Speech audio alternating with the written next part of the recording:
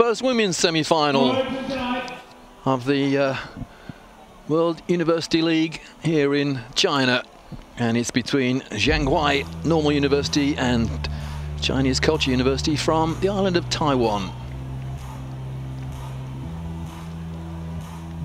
We've sorted out who is in the final of the men's competition, and now this is the women's. Referees, Zhirong Ji and Xi Jing. Well, first score with just four seconds ticking off the clock.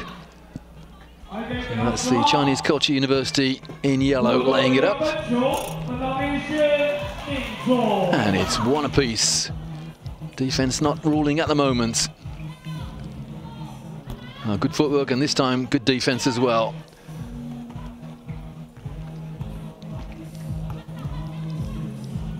Oh, that's good defense. We still have a no charge circle in three on three. And it was a good no call by the officials then. Remember, it's two points for a score outside the arc. And one from inside. And of course, free throws are just one point. And you only get one as well for a shooting foul inside the arc. That's a fabulous move from uh, Cheng Si-Hsu of Chinese Culture University from Taiwan. Well, rather a laboured route to the hoop there. So just a minute gone, and it's just 2-1 to the team from Taiwan.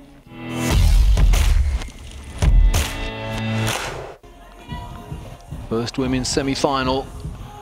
Team from Taipei leading by two against the, the host team, or one of the host teams rather. Well, the ball bounces harmlessly out of bounds. Just over three minutes remaining in this first semi-final for the women's 3v3 competition. Remarkably quiet crowd here. Well, that's a poor pass. And that's a good no pass as well, the fake. And the two-pointer makes it 9-5 now. Three minutes remaining, first semi-final. That shot was blocked. Good boxing out as well. Low pin there, boxing her player out. 13 is Cheng Xui. Almost good hands. This is superb passing from the team from Taipei. And not good passing at all from the uh, Qingshao Normal University players, looking rather despondent. Remember, it's the first team to 21. It's unlikely in this game, a low-scoring game, or the team that's leading after 10 minutes. And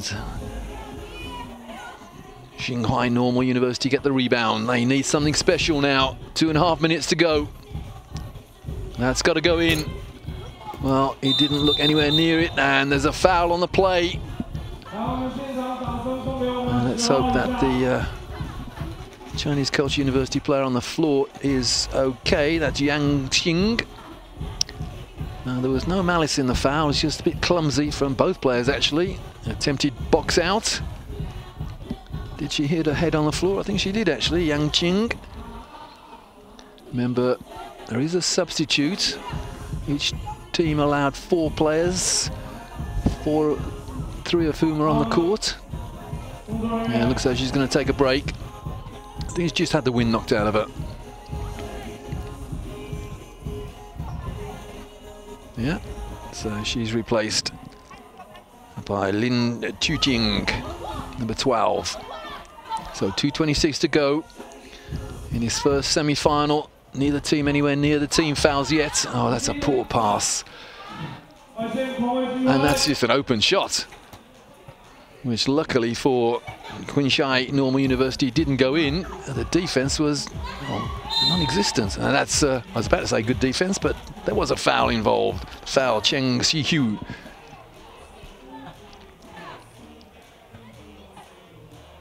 Not a team foul. Clock ticking. Oh, again, a poor pass. Well, the uh, golden ruling basketball is passed to the, uh, the hand away from the defense. And that was so easily read. Possession now to Chinese Culture University. This for a place in the final. We're not anywhere near team fouls yet. And it is definitely Chinese Culture University possession. Again, that's just too easy. I mean, uh, okay, the the uh, Chinese culture player didn't score, but uh, not exactly a contested layup, let's say.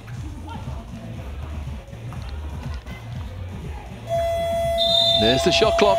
Good defense this time from Chinese Culture University. Looks of his ex exasperation on the faces of the uh, Normal University players. Timeout. So the team in white needs something special after this timeout.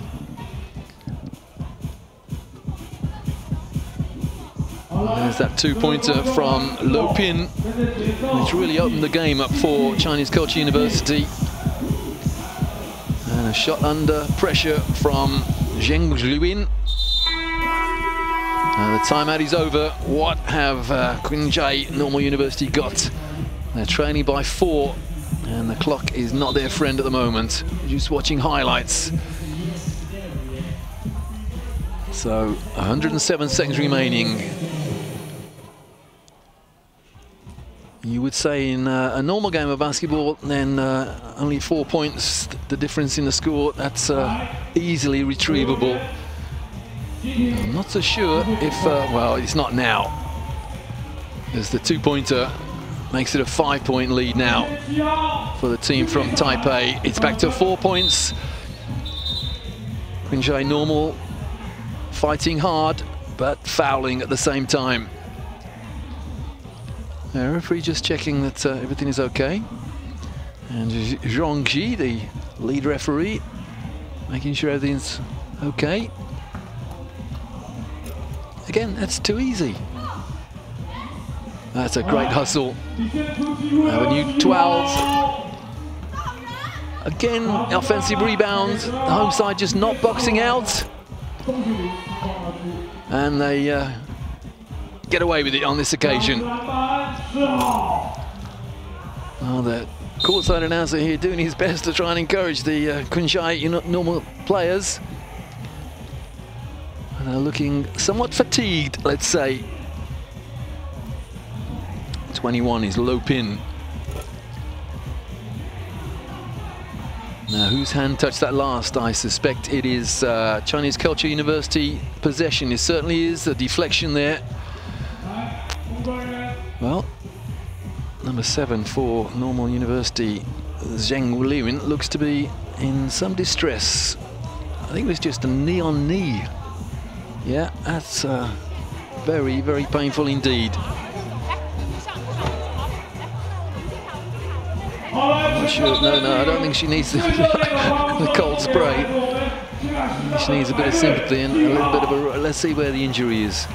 Wow, no, there was no other player involved. It was it was just a stretch, really. She may have pulled something there. I think she has.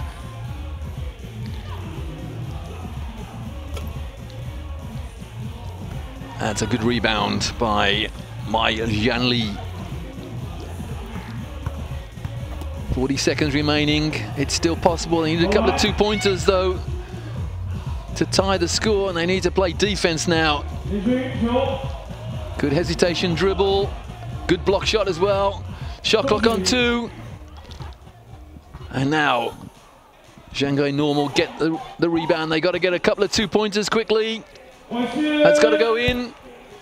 Missed by a long way. And Chinese Culture University get the rebound. Attempted pick and roll there is unsuccessful, but it probably doesn't matter. Now held ball goes to the team on defense. Four points to lead for the team from Chinese Taipei with eight seconds to go. So barring a miracle, and the team in yellow are in the final and they're just going to run the shot clock. No need to take a shot. Well, they take one anyway, they score, and it's 11-6 in a low-scoring game. It is the Chinese Culture University who beat Shanghai Normal University. The team in yellow, the team from Chinese Taipei, the team from Taiwan are in the final. Now, who will they play? Will they play University of Physical Education from Hungary or the University of Regina from Canada? That's the second semi-final. That's coming up later. So Chinese Culture University from Chinese Taipei, first team into the women's final. FISU Today's stars, tomorrow's leaders.